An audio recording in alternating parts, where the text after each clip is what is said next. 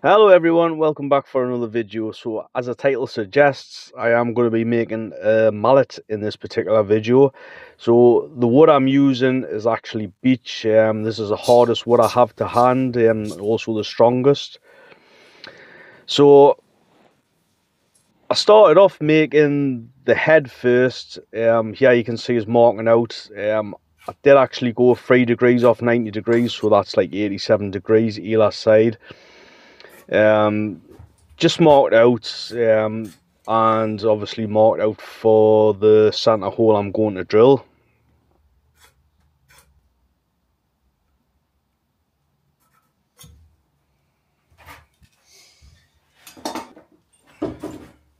So out comes the old trusty. Um, I'll always have a brace and bit. I think they're absolutely excellent. Um, so still to this day I do actually prefer to be on top of the piece. Um, this probably goes back to me using um, a Roman workbench for so long.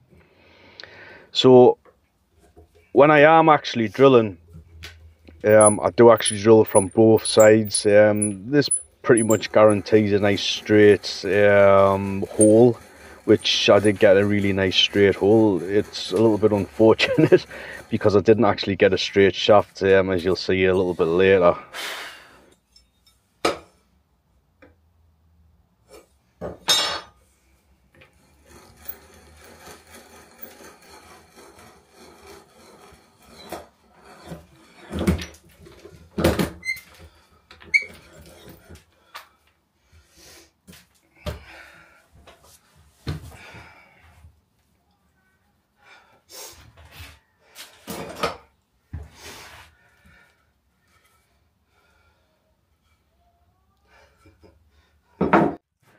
So once everything's marked out, um, the hole has been drilled, um, then I cut the mallet head to its final size. I've said this in quite a lot of videos and in podcasts and whatnot, that I like to keep things, you know, as as long as I can so there's plenty of room for me to grab the piece in this particular instance or for us to clamp it. I just find working like this is um, a lot easier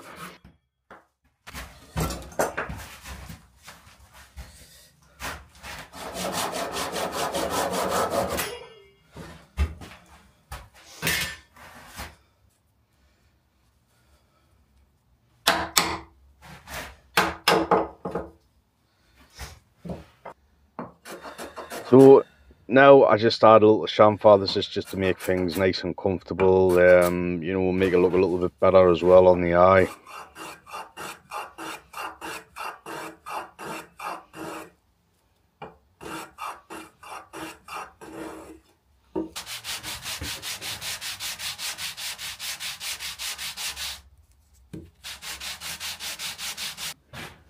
So I grabbed one of my pegs and it turns out that the length of the peg is just a nice length um, for the handle or at least for me. So I pretty much took the length of the peg and transferred it to the beech, um, cut it down to size and started shaping it.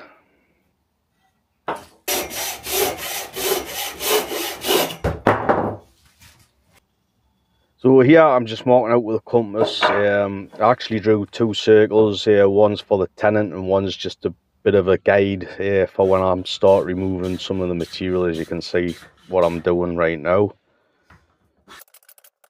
So shaping the handle, it took a really, really long time. Um, if you don't want to spend as much time, um, you could actually just square this down, um, you know, and it still would be usable, but I kind of had an idea in my head and I just went with it.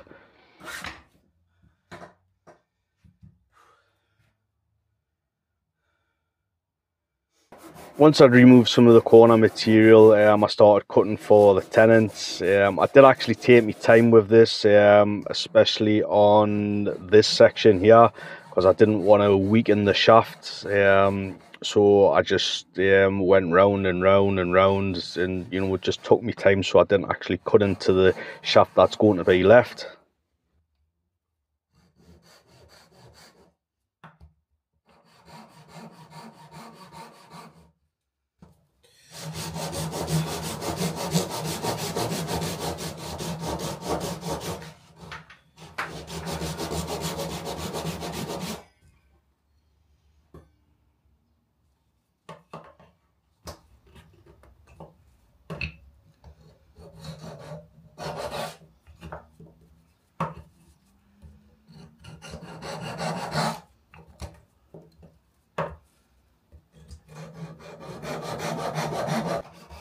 So I started removing some of the corners. This is just to speed the process up. Um, and then I went to town with the Shinto rasp. Um, got rid of uh, you know the rest of the material. So you should be able to see the shaft chart. It's not very square.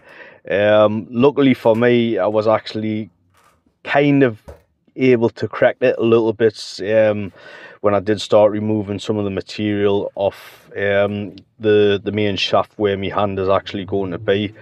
So this point that's coming up uh, where I'm actually putting the taper, um, this took a very long time. I say a very long time. I, I done the whole mallet in about an hour and a half, just over an hour and a half-ish, I think. That's including moving the camera around and such. Um, but it did actually feel a lot longer than that. Um, as I said, this was quite hard work. There was a lot of material uh, to remove, but um, I got so far down with the planes um, and just had to start using the spokeshave just to get into the bottom section or the or the section that's um, making contact with the head of the mallet just to make things look really nice or at least to me really nice um, around it over the bottom as well.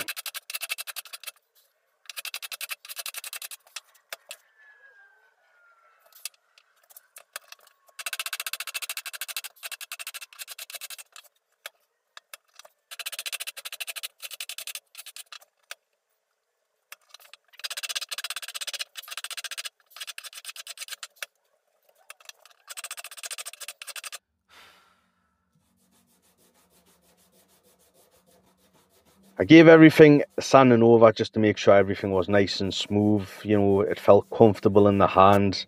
I added some glue, got the handle seated, um, got it wedged up.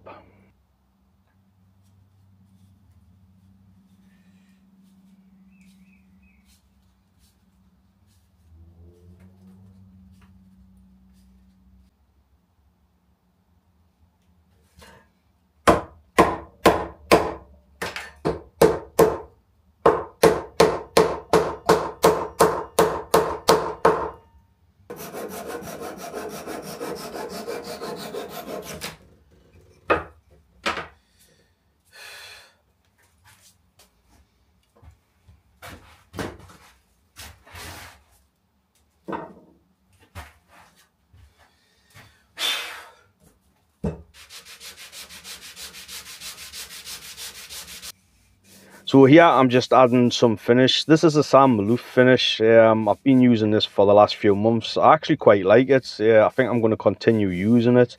I may actually add um, another coat of this um, tomorrow. Um, see how I go with it.